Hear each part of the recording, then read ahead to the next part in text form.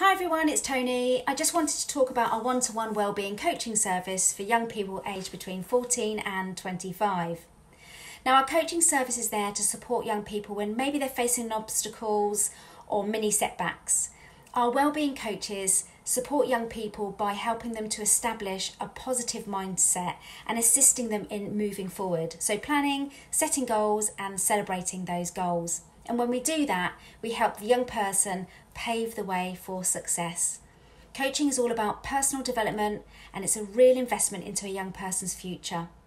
Through a process of learning life skills and lessons, that young person will gain more self awareness, confidence, and a better understanding about how to be compassionate and to be courageous.